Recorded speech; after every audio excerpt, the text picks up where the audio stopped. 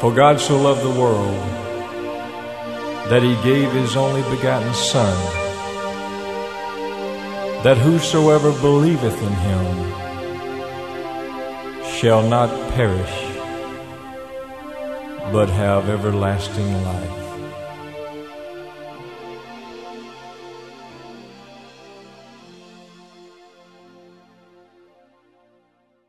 I'm going to come back to my study from last night.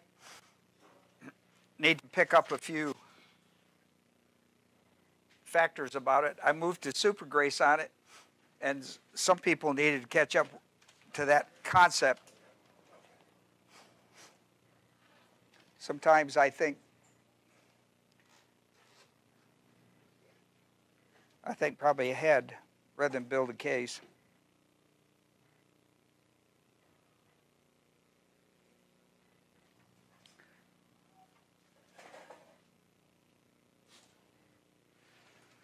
So we're going to come back to where we were last night. Notice I left it blank because I want you to I want you to be sure you write in the proper stuff and then we're going to talk about this in more detail.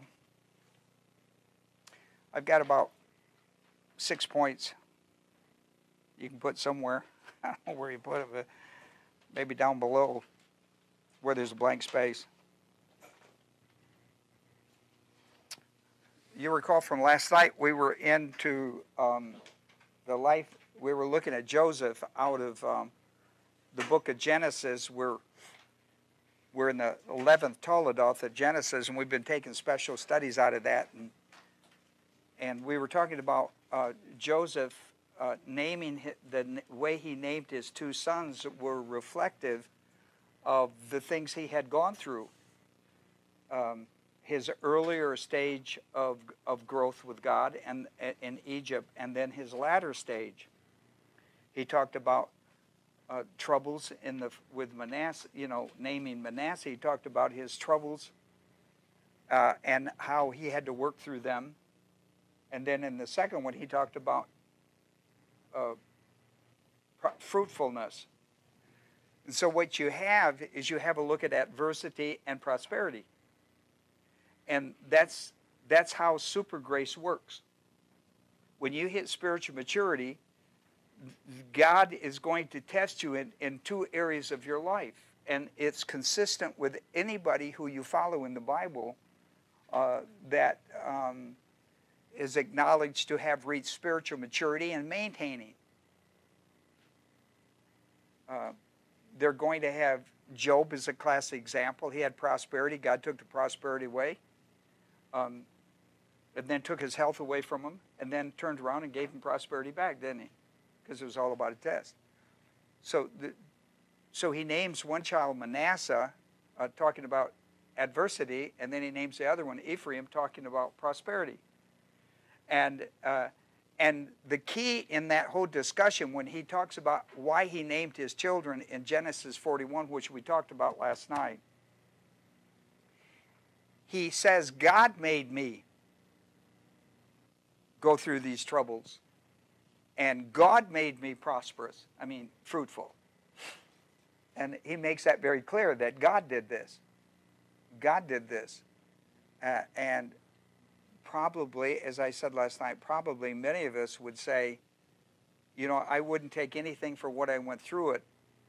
I don't necessarily want wish it to go through again, but the experience I learned about myself and my relationship with the Lord has been really vital to me. And that's kind of what Joseph was saying last night. I mean, if we had to pick adversity or fruitfulness, we'd always pick fruitfulness, wouldn't we? it's just human nature. But God knows how to develop us spiritually, and they're both good for us. All things work together for good when we go through those times of adversity, they're good for our spiritual growth. Uh, I refer to it as, as Joseph going to a pit and turning it into a gym. It was a training ground for him. It was a, it's all about attitude. It's all about attitude towards God and attitude towards His Word of God in our life. How, how do we deal with adversity? How do we deal with prosperity? I mean, some people deal with adversity a lot better than they deal with with prosperity. uh, even though they want it, you know, they would choose it every time over the other because it's just human nature. So what I want to do to, to, to you, to, what I want to do uh, in, um, I was headed to another study and I had counseling this morning at the office. And I found myself talking to people who were struggling in these areas that didn't know how it develops. And so I found myself teaching how you get from one point to the next. I mean, how do you, how do you get from salvation to spiritual maturity and, and from there into a super grace mentality? How, how do you get there? And I found out that uh, they didn't know. And I thought, well, so, you know, what good is to talk about over here if you don't know how to get over here. So I, I said, well, I need to go back and tweak this. I need to go back and and explain this with simplicity to make sure nobody misses this. Okay? It's one thing for me to teach it, and I walk away and go like, oh, good, I did a good study on super grace, and nobody understands what I'm talking about other than language. They don't know the mechanics. I'm a mechanics guy, so I'm not going to settle for that. So I'm back tonight. I'm back tonight to make sure uh, about this very fact. Now, people often say to me, Where do you get the idea of super grace? And why do you attach it to this stage of growth? Why do you, it, why do you, why do you put it under this grace system? See, this here is saving grace, logistic grace. Here is growth grace. Here is suffering grace. Here is dying grace. Here is surpassing grace, you know, in heaven. You know? So, we put super grace here. Now, it expands. We say reach it, maintain it to dying grace. So it, it expands.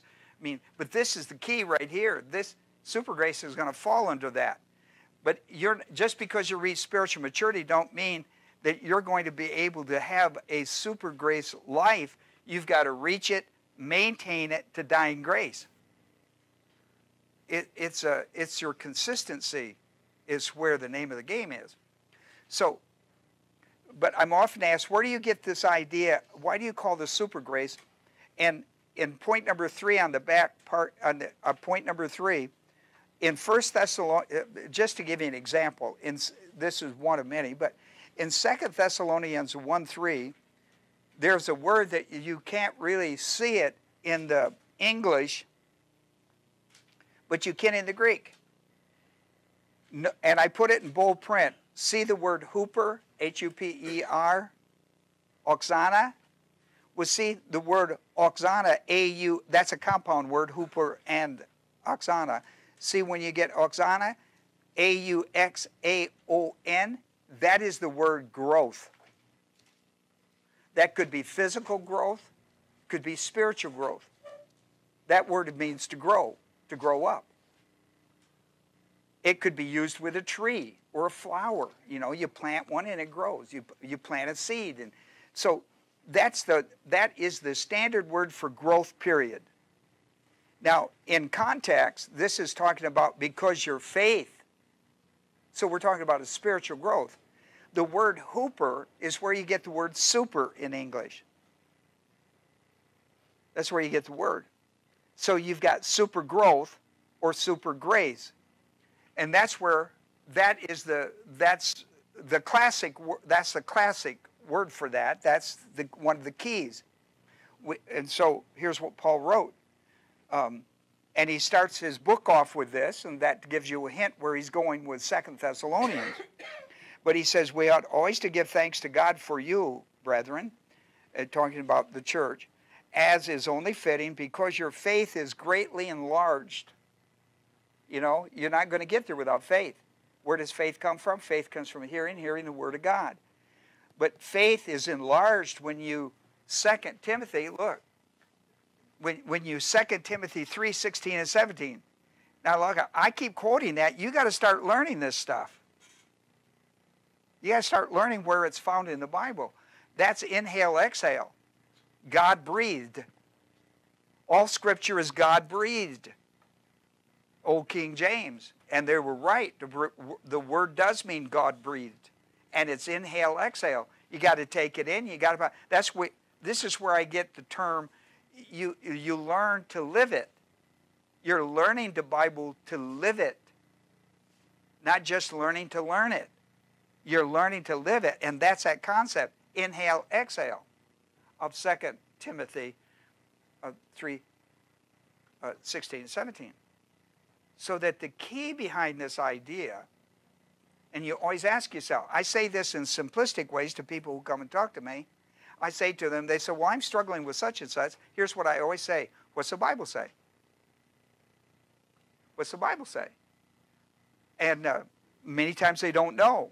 And so my second question is, look at whatever they were talking to me about, I say, show me the Bible what's a key word of what you're discussing, what, where's your problem, and they'll, they'll give me a word.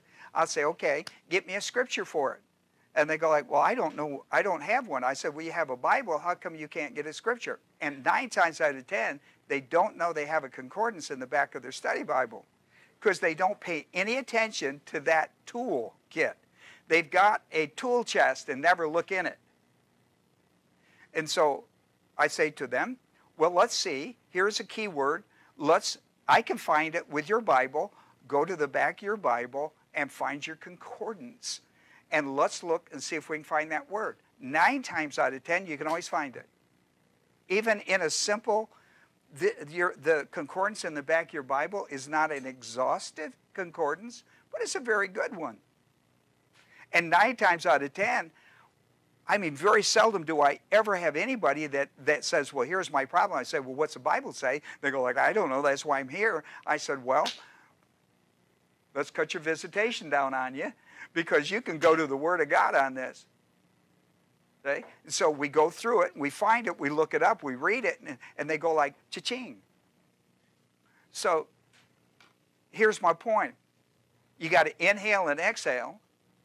You, the, the, and, and, and the breathing is the name of the game with the Word of God. You're learning to live it. Now, the second thing that's most important about this, I'm going to have a word of prayer in a moment. But the most second, the second thing that's most important about this, other than okay, the Bible says it, is to have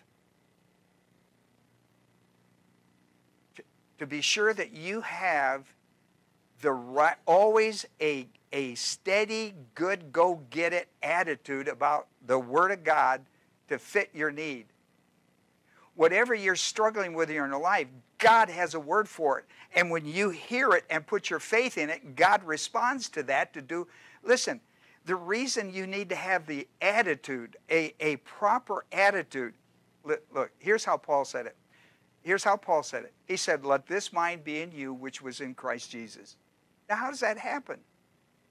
First of all, you study the Bible and then you keep that prevalent. When you have a conflict or something comes up, you go to you go to it and then you you that is your attitude towards it. When you look it up and the bible says like i was talking to a person today about, with the word seal. You're sealed into the day of redemption. Well we couldn't find it so we went to a concordance and there it is. Okay there it is. So we looked it up and you go like okay there's your answer. Now what's your attitude? See, there's the answer. Now, what's your attitude? Well, your attitude is what takes it from learning to living. It's your attitude, your attitude towards the Word of God. And when you put your positive attitude to, to faith, to work that, okay, I believe that, I'm going to believe. I, listen, one thing is to know what the Bible says. The other, no, other thing is to know that God will do what He says. So when you, when, and here was the trouble we had today. We looked up this word and then you go like, okay, how does it how does it work in your life? So it requires Romans 4:21. It always requires Romans 4:21. What God has promised, He is able to perform. That's your attitude. And when you have that attitude and you see it and it works, now you have the mind of Christ because God is faithful.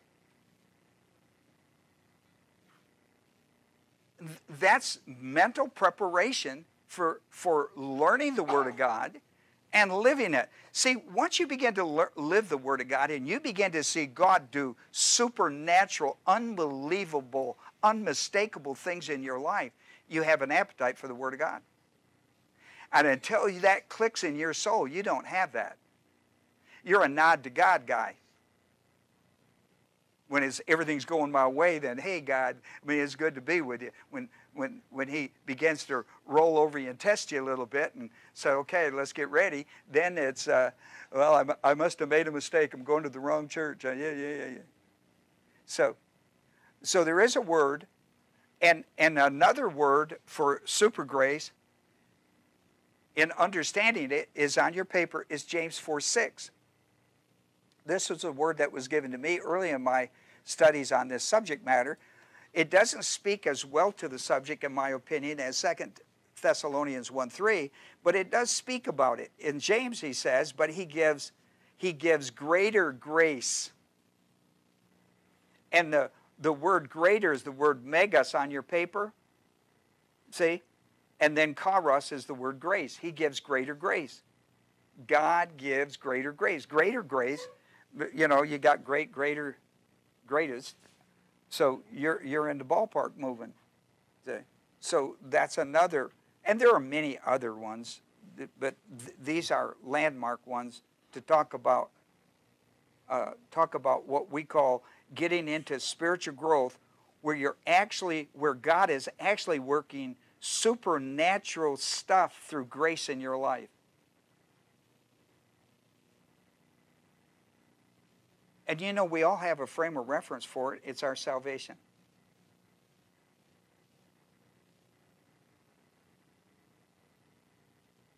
When I heard when I heard super, super grace concept, I knew right away that that was that was legit because I, super grace is how I got saved. I mean, not me, but from God's end of it. He did a super work on me. And then when I learned I had I had received 50 things I could never lose in time or eternity, I went, that's super. but it was God doing it to me. Then he turned around and says, you know, this is this is a program for your life. This is just a salvation program. This is a program for your life, son. And I went, cha-ching. I want that deal. I want that deal because my, my salvation still, my salvation to this very day is just giant in my life. Well, let's have a word prayer. I give you that moment of silence as a believer priest indwelt by the Holy Spirit, the privilege to confess sin. 1 John 1 9, if we confess our sins, he's faithful and just to forgive us and to cleanse us. That allows the Holy Spirit to minister the truth of the Word of God, and you need him tonight to teach you this. Father, we're so thankful for this opportunity to be with these people, both by automobile and in the setting of the classroom, as well as the internet, as we travel across space and time to meet with people all over the world. Who would have ever believed that? And I'm thankful to be a part of that. I pray the Holy Spirit would minister the truth of, of the Word of God tonight about the awesomeness of grace, greater grace the, the grace that flows out of Calvary, the grace that flows from the cross, from the gospel to my life, all the way to death and beyond, is just an amazing grace. We thank you for it in Jesus' name. Amen. I want you to turn in your Bibles to 1 Timothy, the second chapter, and verse 14. Uh, well, 3 and 4. Uh, uh, 1 Timothy 2 uh, none of this is on your paper. So you're going to have to write a little bit. I just gave you paper. That's about it. And you, you, you ought to write that on your paper. I'm at saving grace right now. I'm in 1 Timothy, and I'm down here at saving grace. And he's going to tell you something here now that you're older and more mature. He's going to tell you in 1 Timothy 2, 3, and 4, he's going to tell you something really interesting about God's desire to save you. This is good and acceptable, 1 Timothy 2, 3 and 4. This is good and acceptable in the sight of God our Savior. Okay? Look at verse 4. who desires all men to be saved and to come to the knowledge of the truth. Okay? It is God's desire. Listen to me. Here, here we are right here. It's God's desire to save you. It's God's desi- desire to take you through the growth channel of grace all the way to uh, all the way to surpassing grace. That's his desire. It is his desire not only to save you, but for you now, now that you're saved, for you to come to the knowledge, right? To come to knowledge, to come to knowledge of the truth. And that's a very big deal. The word for knowledge is interesting because that word is not gnosis, that word is epignosis. And that word means that gnosis is learning it and epignosis is applying it. You're learning to live it. You're not just learning to learn it. That's epignosis. Epignosis is bringing the gnosis into full experience of your life. And, and that means into a deeper relationship with God Himself. Epignosis brings you into Romans 4:21 where you can write it in your journal. What God has promised, He is able to perform. And you're able to write that into your journal. You can say, here is the promise and here is the performance. Here's what God did. And listen, you can go back to the cross when, when he told you, if you believe the gospel of Jesus Christ, you'll be saved. You said here today, absolutely convinced you're saved. And, and listen, who doesn't write down in their, I remember exactly. I remember everything about mine. Now, I grant you, I was older when I got saved. By older, I mean, you know, 23 or something. I wasn't three or four. I mean, I was a grown man with some world in me. Okay? So, look, it's God's desire. You know, it, it, it's interesting. This is His desire. It's His desire it's his desire that none perish, but all come to eternal life. 2 Peter 3 9. It is his desire that none perish. It's his desire you be saved. But now that you're saved, it's his desire that you begin to grow in grace and in the knowledge of the Lord Jesus Christ. See, in 2 Peter 3.18, grow in grace and knowledge, the word is gnosis. And what he wants you to do is to grow in the knowledge of the Word of God and then see the power of God work it out in your life. See him do the power structure in your life. God is faithful to do what he's promised. And that's that's the that's the real deal. For example, prayer. If you prayed all the time and never got answered, never got an answer, and you went through the Bible and studied it correctly and prayed correctly and never got an answer, never feel that God's always closed the door on you, would take you long to shut down prayer life.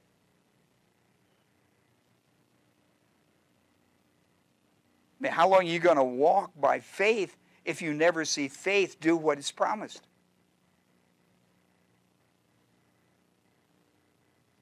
Because your, your other option is greater sight.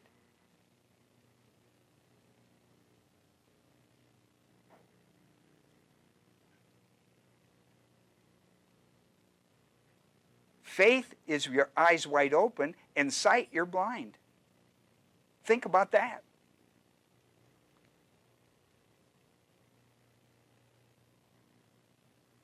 So, God our Savior. That's how Paul says this. God our Savior. You want to get this point now. God desires all men, God desires all people to be saved, and He desires all saved people to come to epignosis knowledge. You understand that? It's His desire. I mean, you don't get. Listen, there's not. There's nothing stronger to discuss from God. Says it's my desire.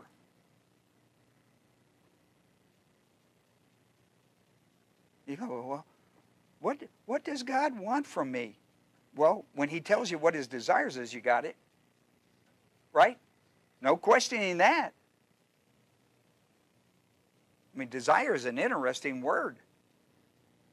So, you understand right off the bat that his desire is for all men to be saved and all saved to come to knowledge of the truth. Why? The truth, because it sets you free. Just doesn't want you to be knowledge, he wants you to come to knowledge of the truth, because it was Jesus who said in John 8 32, the truth will set you free. Free from what? From the sight of cosmic thinking. That's why. So, that's the first thing. Now, when you look from salvation to spiritual growth maturity, that journey is a journey of milk. That's, it's milk. It's milk. That is milk. And there are three stages of growth in this. There's the baby stage, the immature stage, until you reach maturity. This is the mature stage. There's three stages. And there are words for them. There are Greek words. For example, the baby stage is called breathos. Breathos. The immature stage is called napios. And the mature stage is called teleos. Breathos, B R E, I think there's an S in there. Breathos. Well, I, I don't. No, I guess it's just breathos. Nepios, N E P I O S, long E, and then teleos, T E L E I O S. Teleos. Okay? These are three stages of growth. Three stages of growth. And the, these two stages right here, not that one, but these two stages, baby and immature, require milk. They require milk. And when you come out of napios and into maturity, the, the, you, as you enter into this, you become a meat eater. Become a meat eater. Now, let me show you what I'm talking about in 1 Peter 2 2. Here I am with breathos. Here I am breathos. Here is 1 Peter 2 2.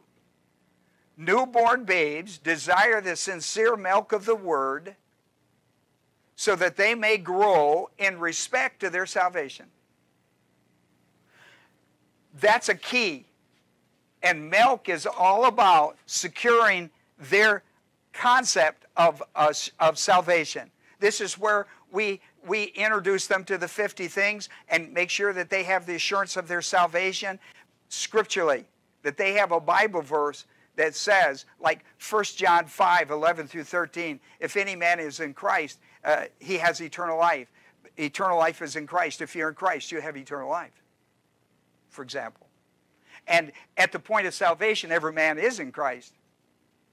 Say, 2 Corinthians 5.17, uh, if any man, a, a, a, new creature is one in Christ. If you're, in, if you're into Christ, you're a new creation. you have been born again. So the, there, there is this. Now, there is also, in the baby stage, there is also uh, Hebrews uh, 5.13 that takes this baby stage and takes us into Napios, as still needing milk.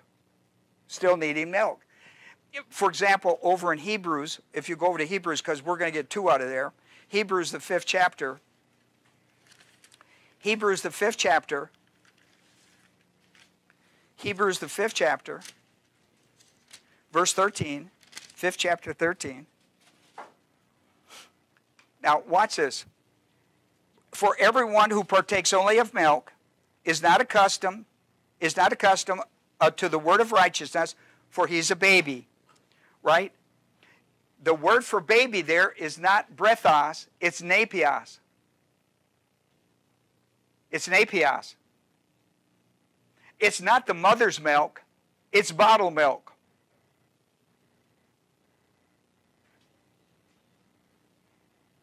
It's the formula business that we're working with. See, that's Hebrews 5, 5.13. Notice 14, we'll, we'll jump to 14 for a moment to talk about meat. But solid food, or meat, King James, is for the mature. That's the teleos. That's teleos. The word mature. See? So here we got a, we got a baby believer that, that, that's just been born on the mother's milk.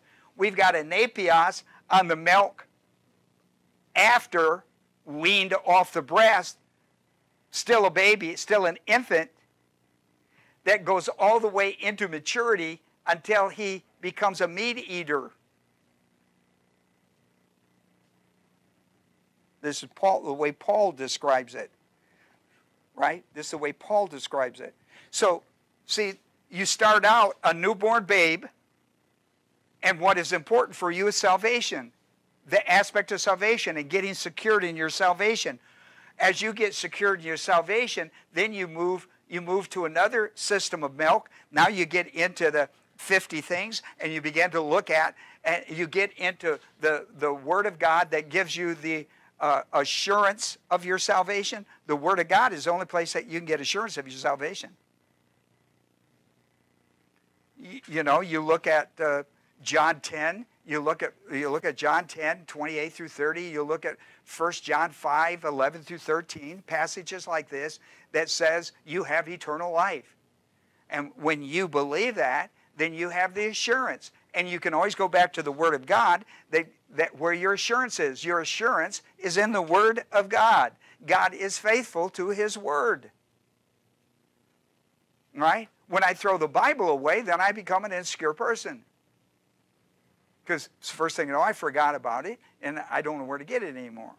So that, that that's important you do that. Now, let me show you this thing about a nepios. Let me show you this nepios.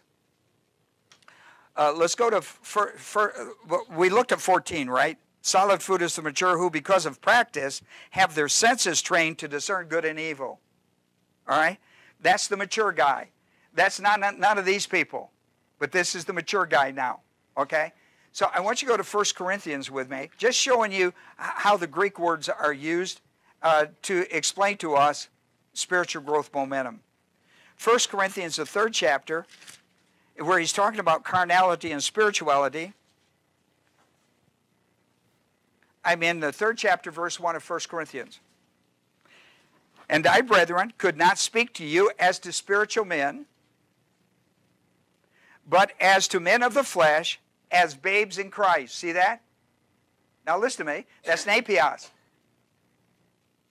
That's a nepios. That's an immature person. It's not a newborn baby, but it's, it's a person between birth and adulthood. That person.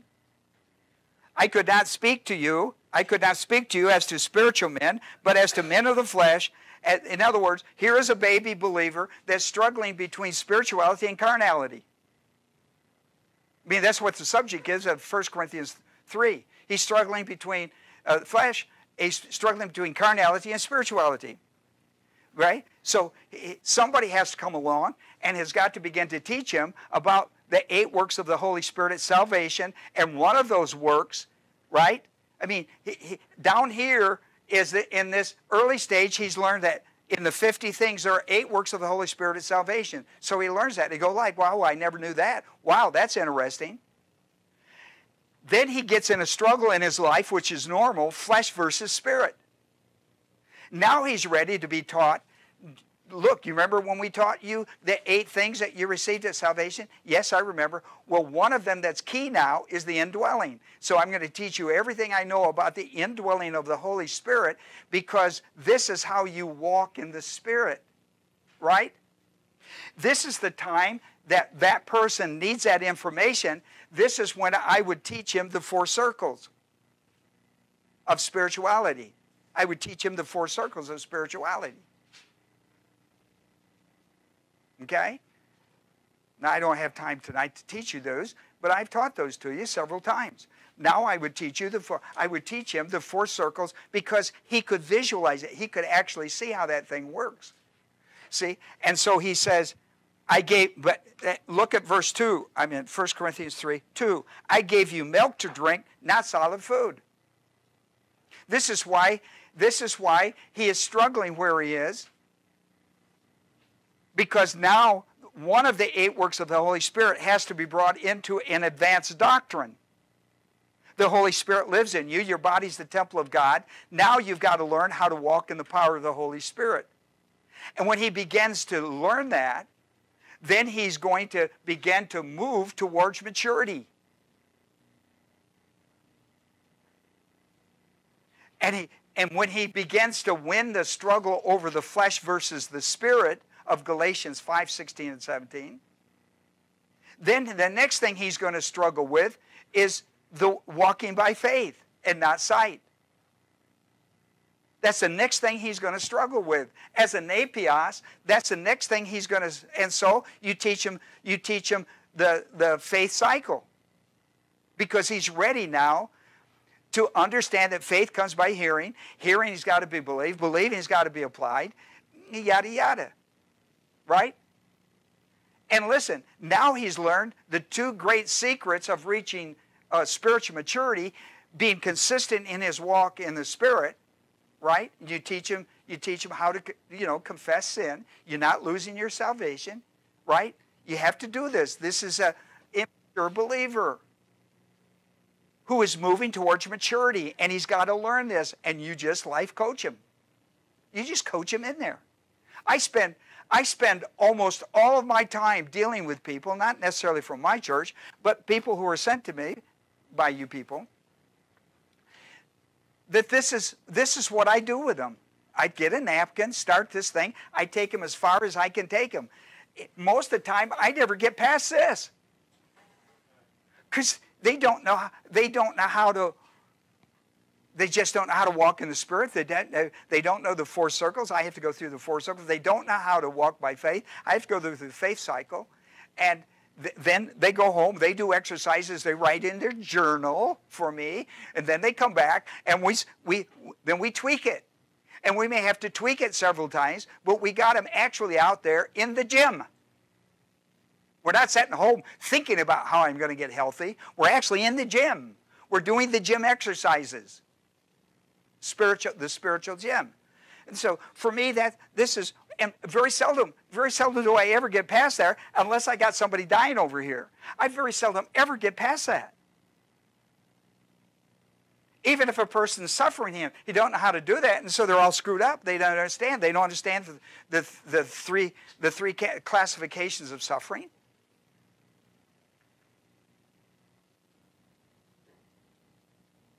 I want to show you another one. I, am still, I'm still on this little system over here, okay? I'm on that little system. And listen, I don't care. I'm not in a hurry to get through with this. You understand? If I have to come back next week and teach this, this got to be taught. All right. So I'm in no hurry to go with this. Okay. So I'm in the 13th because I got way too fast last night. I got way too fast for the material I had, thinking that everybody up to speed, and they weren't. So I'm in the, now I'm in 1 Corinthians 13. I'm just working with this word nepios. I want you to see the power of this word nepios. You, listen, you're going to meet, I meet more, most of the people that are sent to me are, are nepios. They're not baby believers. They, they've sat under guys who have got them secured in their salvation, and, and that's, that's about it. They, they preach a good gospel, and uh, they've got them secured in their salvation. But they're, they're nepios. And I find, I find this one a lot and it's a sign of nepios. I'm in, I'm in, I'm in uh, 1 Corinthians 13, and I'm in verse 11. In verse 11, when I was a child, I used to speak as a child, think as a child, reason as a child, but when I became a man. The word for child there is nepios, and the word for man is teleos. You know what? You see, you see believers who have been in church a long time.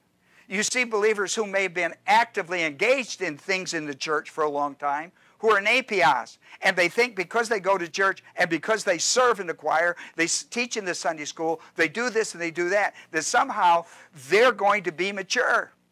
And most of them that I meet are secured in their salvation, but they're nepios. You know why? Because their behavior identifies it.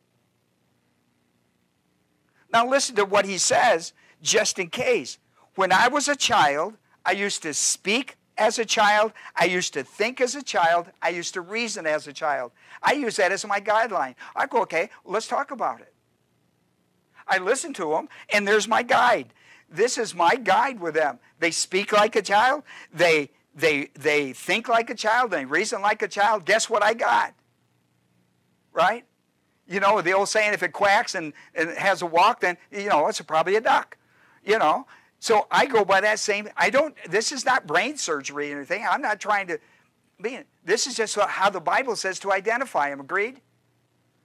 And listen, and so listen. When I became a man, I did away with childish things because they don't make sense anymore.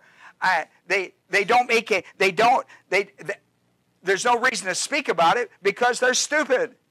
You see? I don't do those things anymore. Because it's stupid. I, I got so much trouble from it. That's really important. And then he goes on, for now we see in a mirror dimly, but then face to face business. I'm just taking a little passage out of a deal on spiritual gifts and show you nepios versus teleos. Okay? And, and I use that as my guide when I'm listening to somebody. I just listen to that as a guide. If they you know, if they walk like a duck and quack like a duck and so there it is. Okay? Now, the teleos, when that person has a desire to eat meat, see, now he's he's wanting advanced doctrines of the now he's wanting advanced doctrines. He's wanting to know more about the thing. And it's hard when they get close to it, it's hard to hold them back here but they're going to get in trouble uh, in their life. They're, they're going to have problems with their flesh. They're going to have problems with the faith system. And so you have to bring them back here. But they want some of this over here. And so they're ready to go with this. And listen, once they get hungry for the word now, but you see, when they reach spiritual maturity, I call that super grace one. Listen, I don't mean that don't mean you've arrived and you're there. It just means it, it just means you got there now we and and I love this because Bob taught us there, that it's one thing to reach it, it's another thing to maintain it, and it's another thing to maintain it to die in grace. And, and he's absolutely listen. He is absolutely on the money with it, and that's a great line. You got to reach it, you got to keep it, and you got to keep it till you die. And, and Paul talks about that in 2 Corinthians 4 7, uh, 7 and 8. You know, I've entered the race. I'm, I'm going to run the course. I'm going to finish it. I'm going to keep the faith. And then there's a crown for me. He carries it all the way through there to surpassing grace. And, and uh, Peter does it. Peter does it when he writes, when Paul writes his, his will and testimony, that's second, that's second Timothy. When Peter writes it, it's, it's second Peter. And Peter tells you the same thing. Uh, so it, it's, um, it's kind of interesting. Let's see. Got a, let me, I wrote a verse down here. Let me see what it says. Well, that's not really that big. Uh, so it's one thing to reach it and to move that through uh, Super Grace 2 to Super Grace right here, Super Grace 3. You got to reach it, you got to maintain it. See, look, if you think that's easy, let me tell you what happens. The warfare heats up like you can't believe. In the, the intensity of the angelic conflict heats up better than you could possibly. Let me show you some guys that didn't make it. Let me show you. Saul didn't make it. Had every chance in the world.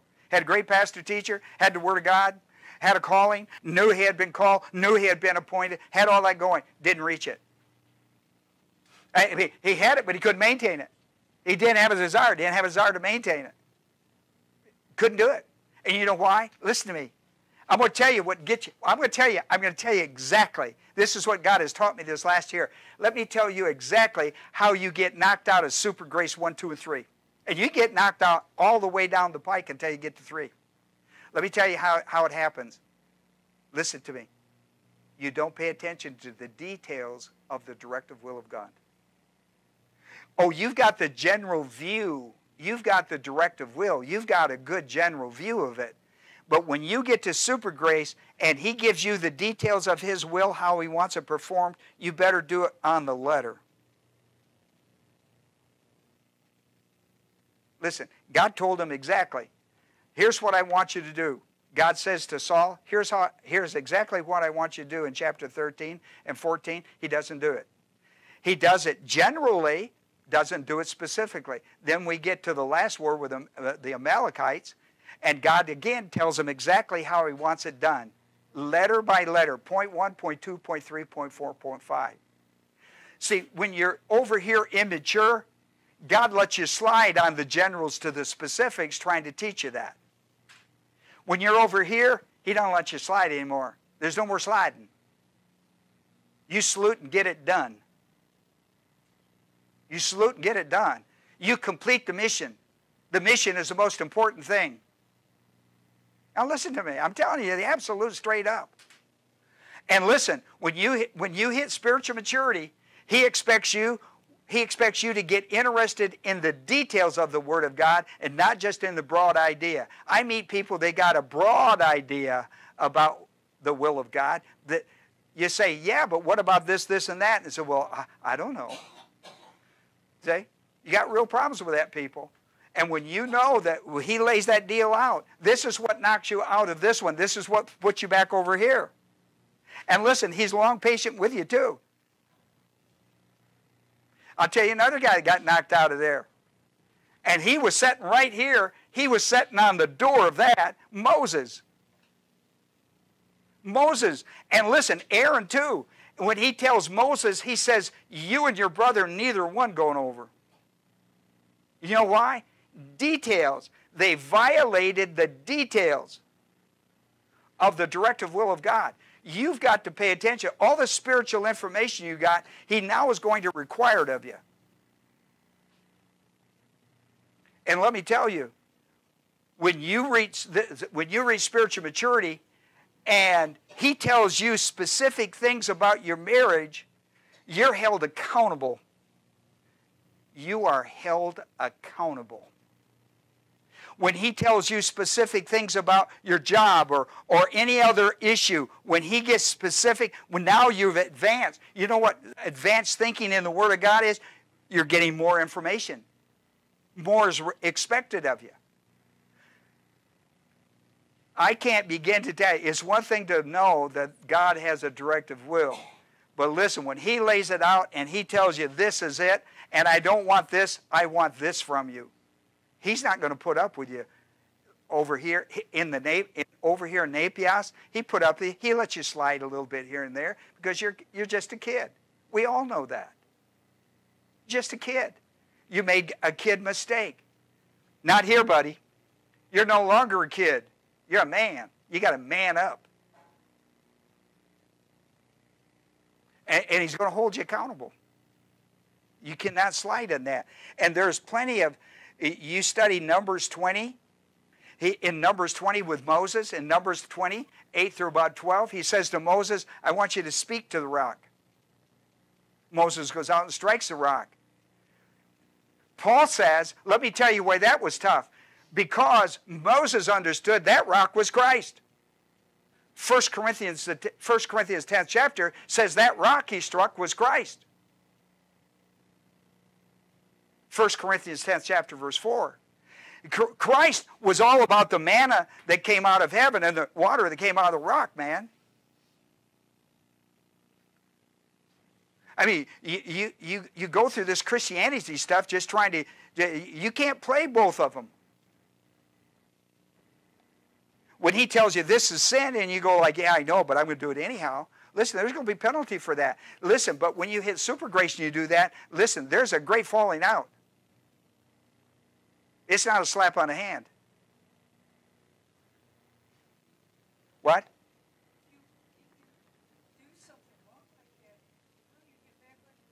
First John 1 9. How about that? You know why? Grace. Grace. That's how you get back on your feet. That's how you get back on your feet. The work of Christ on the cross is still available to you until you're dead. That propitious work of Christ on the cross that cleanses you from sin works to your dying day. You're never, there's never a day that God doesn't offer it to you until you're dead.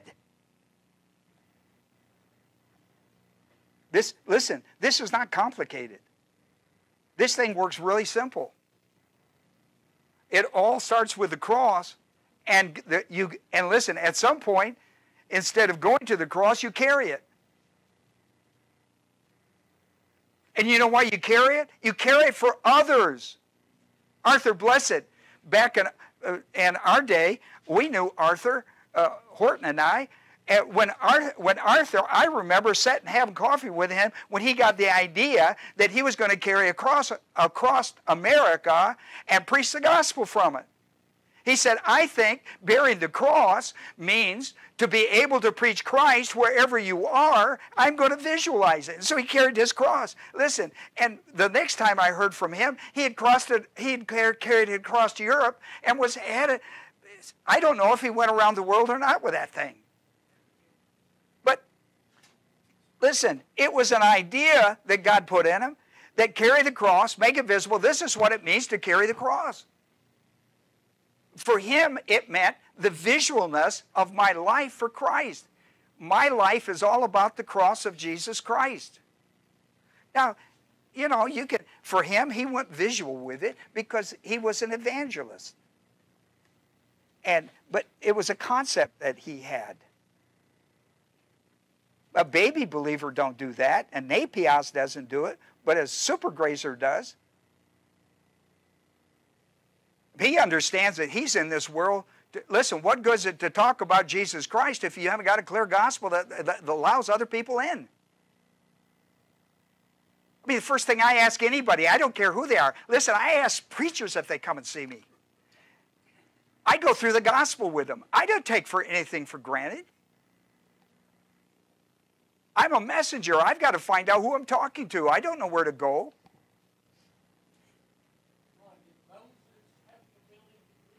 Well, of course. Yeah, of course. Oh, yeah. Yeah, of course he had that. He had it because of shadow Christology. Yes. Yeah, he'd, he'd had made a sacrifice with it. Yeah. To so, show good faith. Because, listen, after he did that one, God shut him down. God took him to the mountain, let him see it, and says, You can't go because, and I'll tell you why. He did it because of his leadership ability, influence over other people, and he told them that in Deuteronomy. In Deuteronomy, the 32nd chapter, um, verses 50 and 51. Well, yeah. That That's absolutely right. That's absolutely right. Yeah, he struck the rock, man. He's supposed, he's supposed to speak it. That's absolutely right. Absolutely right. Well, I'm just, I'm just trying to show you some things. The third thing I want you to understand, right? Third thing, I guess I'm just going to get three out of six. The third thing I want you to understand is the difference between gnosis, which is a big deal to the nepios, and epignosis, that's a big, big deal to the mature person. This is a big deal. Now, I mentioned some of these scriptures. There is a, listen, a spiritual mature person is all, he, he, his whole mind is dealing with epignosis, the application of the Word of God. That's the reason I did the faith cycle. Faith comes by hearing, hearing, believing, believing by application, application by completion of God. I did that to show that absolute cycling is important.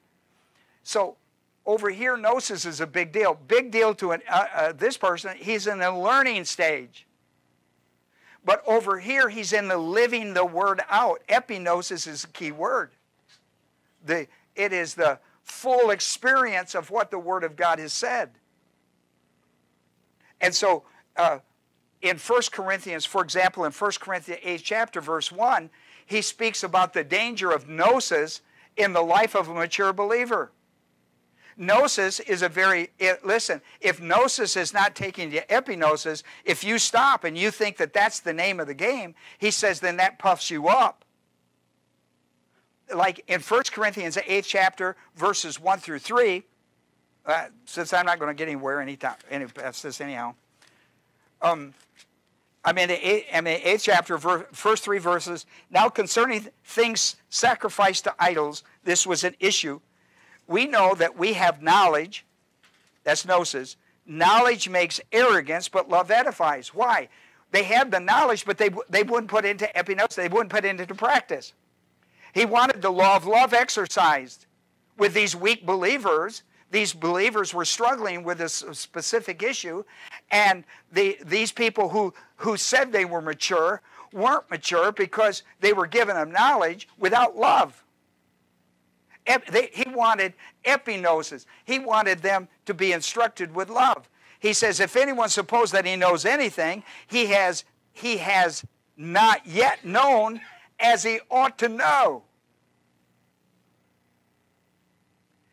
But if anyone loves God, he is known by God. He says, listen, just don't give them, listen, they need, they need to understand why gnosis has to be taken to epignosis. And you're there to explain to them, to, to sh show them epignosis love. Epignosis love. Now, when, when you drop down into verses 11 through 13, for through your knowledge, he who is weak is ruined. You're, you're telling him what he ought to do and not equipping him how to do it. Therefore, it becomes blame. That's not what the Christian church is about. For through your knowledge, he, he who is weak is ruined, and the brother for whose sake Christ died. And thus, by sinning against your brother and wounding their conscience, when it is weak, you sin against Christ. See, that's what you talked about a moment ago with Moses. See? And he said, Look, this is a big deal. This is a big deal. And then in verse 13, he says, Therefore, if food if food causes my brother to stumble, I will neither eat meat again. And he's talking about, you know, meat sacrificed to idols again, that I might not cause my brother to stumble. Listen, that's the name of the game. Uh, I mean, you, you're all you're quick to correct him with the word of God, but not teach him how to correct it in his life. Love goes a step beyond that. It, and listen, if your brother is immature, weak in his conscience, because he's struggling with issues, he doesn't have the maturity to do it, then you extend love to him and be patient with him and nurture him into the growth. If he is interested, right, then you walk the walk with him. He's a nepios. He's a nepios and it's going to take a little bit. He's got to, he's got to understand spirituality. He's got to understand the walk of faith. He's got to understand the walk of the Spirit. You've got to nurture him. You've got to work with him. And he needs to see love, not criticism. He's, a he's, he's, he's an immature believer. He needs love, not just critical knowledge. Legalism is the worst of that. May they pound you with the law and judge you over it. Well, that's as far as I can get tonight. I, I didn't get to. I didn't really get to epignosis, which is the the big deal. But you know, depending on the Lord where I go with this, I don't know. But listen, I've got some other things that are really important I need to share with you over here. I'm going to I'm going to show you why these two power systems, it's important in the Christian life. There are two power systems. There's conformity to the world, and there's transformation in the Word of God. And these two power systems are really important. You understand the difference. Because I'll tell you, in the church today, I meet so many people that don't understand the difference between these two power systems. The devil runs one and the Lord runs the other. The devil runs a conformity system. And, and let me tell you what I've discovered. I've discovered that the devil is a master psychologist. He has studied human nature since Adam. And he has been a great observant of it. And he understands conformity of the world. You do not want to play in that ballpark because you're whipped right off the start, baby. God has the alternative. The alternative to conformity to the world is transformation by the Word of God. And when I went through the book of Job with you, I learned so many great lessons. And one of the great lessons I learned that Job taught me is the difference in these two power systems and how they work against you and work for you. And I learned that in Job. I learned it in the devil's conversation with the Lord, his strategy with conformity of the world. And uh, I'll come back to this another day. But let me tell you, boy, does he know how to work old man. He understands human behavior more than you and I will ever know it because he studied since the beginning of time. Think what, listen, he studied, he's got it down to a science. And he's been with some great ones. And he didn't even back down. He believed, he was so confident in the conformity to the world that he, he tried it on Jesus Christ. That's pretty bold. That's pretty confident in it. Because it had worked so well with him on others. Moses and Saul and Well, yeah. Most people do. Most people do. In the conformity of the world, they all do. He got him, didn't he? That's right. He understood where transformation comes from. Well, let's have a word of prayer and we'll get out of here tonight. Thank you. I'm not through with this. I may be through it for now, but I'm not through with it. Okay? I am not through with it. The Lord kept me up all night last night. I did not want to come back and teach on this. And because I already had one hot on me. And he went out, throw it aside. So I've learned to be obedient for whatever reason. And so we'll just see where he goes with this. But this is something you got to understand. And he made it very clear to me. We're going to get up and we're going to do it. I, I want you to write a passage down. I missed this. I just saw it on my paper, and it's a big one too. Uh, and it involves my life to you. Romans, the second chapter, verses 19 through 21. Romans 2, 19 through 21. It's a, it, it, it, it, it, will show you why I'm doing what I'm doing, uh, what He put in my heart. Okay, let's, uh, let's close in a word of prayer. Father, we're so thankful tonight for these who've come our way both by automobile and by internet. And we've tried to walk this thing through, Father, to try to make people understand the importance of spiritual growth and, and, and why there needs to be they need to get into a teaching church. They need to set under, not just, I'm not the only guy doing this. not trying to say that. I'm just saying this is very, very important. They need to find a good Bible teaching church. They need to, they need to study the Word of God. They need to understand some of these basic principles. And if there are pastors out there, they, they need to get this stuff. They need to get this in their soul. They need to get it in their life. They need to cycle it in their own life begin to teach the truth. Epignosis, that this knowledge is the knowledge of the truth. I pray for that in Jesus' name. Amen.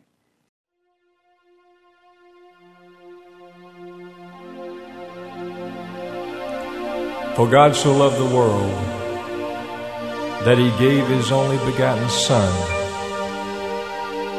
that whosoever believeth in him